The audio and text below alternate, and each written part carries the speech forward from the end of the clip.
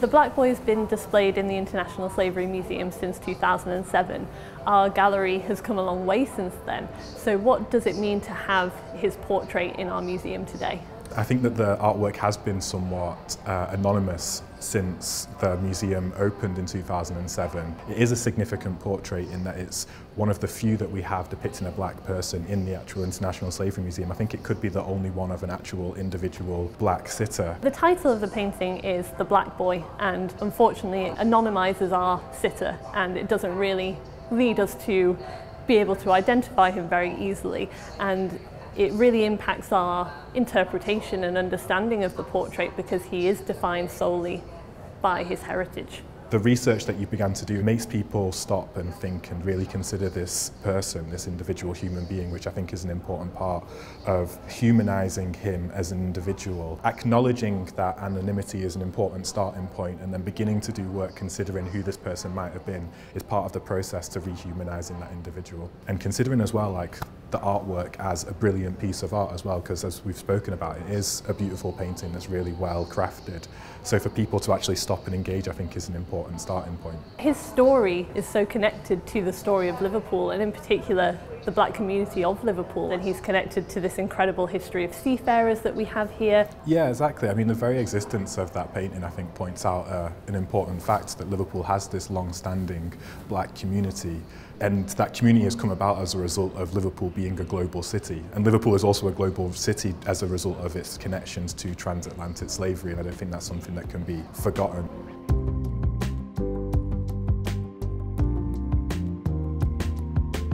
So, Rebecca, when the portrait came into the Walker, it looked quite different to what we have today. Can you tell us a bit about that? Yes, well, it seems that the top was quite damaged. We can see from the x-ray because it's quite jagged where it's been cut down. Uh, the right edge is quite smooth um, and straight, so it looks like the damage was all along the top. So presumably, when they cut the top off, they've made it into a more conventional sort of portrait dimensions. So we recently did some tests on um, the portrait and we can see that the colours and the tones used to look quite different. Yes, yeah, the background at the moment looks like it's got a sort of greenish tinge to it and that's really the discoloured varnish. It should be slightly bluer. And the x-rays that we have of the portrait have been really fascinating, haven't they? And we can see about four different faces um, in the canvas that we can see. So can you describe kind of whereabouts they are? That's where there's one face.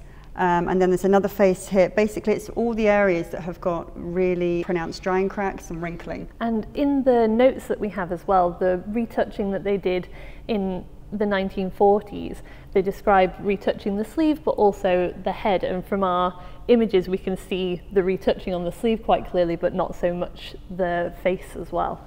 Yeah, that's unfortunate because there is, it sort of looks like a scar here, which I can't see as can be original, but we, we you can't really see that in the UV photograph, but that's largely because the varnish is so thick. So it doesn't mean that that's not overpaint, it just means that it's underneath the current varnish.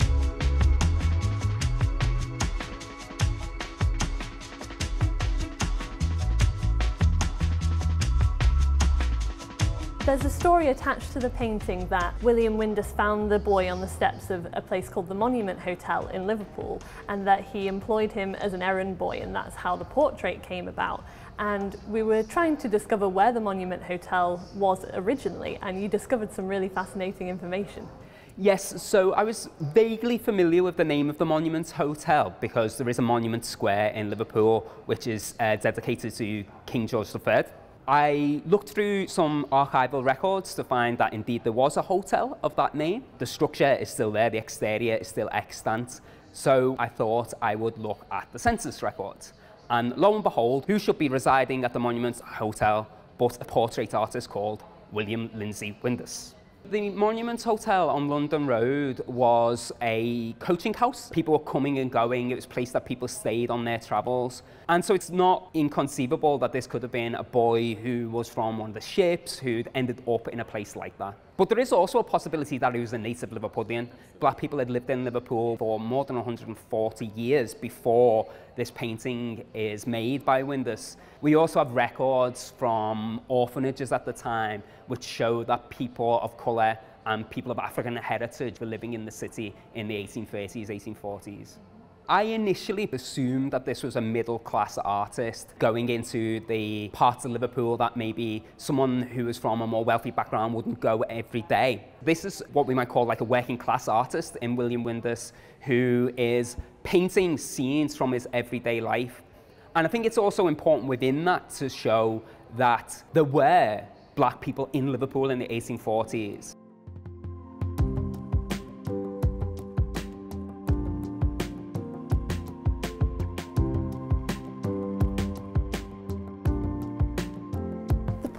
Itself is quite unique in terms of British portraiture. We have a single subject but a young black child filling the frame and the composition is very interesting, isn't it?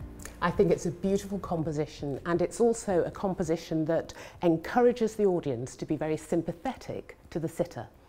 The fact that he's sitting down and his eyes are gazing right out at all the passers-by means that it's going to engage anyone that comes into contact with the work. And one of the other things that you notice about the work is that there's a little flash of red just on what would be our right-hand side as we look at the work. And that flash of red is very symbolic of issues of purity and truth and justice because it's a religious symbol in a lot of portraiture of this time. Artists like Windus were looking for realism. They were looking for people who could represent the everyday. So the quotidian lifestyle of a young black person would have been um, an ideal and a very novel and innovative subject matter for the artist to focus on. So the fact that this is pared down and it's just the boy with very little in the rear ground so that you can focus pointedly on the facial features, the clothing and the appearance of the child in a seated pose is really, really important. Something that Windus does so well in this portrait is that use of chiaroscuro. So we've got that beautiful kind of quite direct light coming from the right hand side. It shows that Windus was paying a lot of attention to the depth of the skin tone. Absolutely, Kate. That is one of the most important parts of this portrait. To illuminate a child's face is almost allegorical of innocence, as well as the vulnerability of that subject. Within genre painting, people were interested in telling a narrative, particularly a moralistic one, that took the uh, spectator on a journey from usually issues to do with immorality into morality. And in this particular work, there is that semblance of genre painting too. So on the left, what you can see is a torn sleeve depicting the poverty, the impoverishment of the child. But as you progress to the right of the picture, you can see on the right-hand side a complete sleeve, illuminated again by that light, showing a white purity, showing that this child is on a transition from impoverishment through a moral transition to purity. And it also represents the way the artist was thinking at the time. So Windus was also very concerned with issues of moralism, realism, purity, representation of truth, and that is depicted in the narrative of this piece, from left to right and also from top to bottom. So you see the illuminated face, and then right through to the toes and the feet, that are much more muted and darker toned. What can we know about the experiences of black people or children during that time who might have been models for artists at that time and what can these images such as this one tell us about their lives? A single figure portrait of a child is very very rare, particularly a person of colour. He appears as a street urchin And so this is a unique portrait, I believe, because it's talking about the north of England, it's talking about a stowaway, potentially, who has found himself in Britain, perhaps under the age of 10, a very young child, alone in an unfamiliar surrounding. So for that reason alone, it's extremely unique.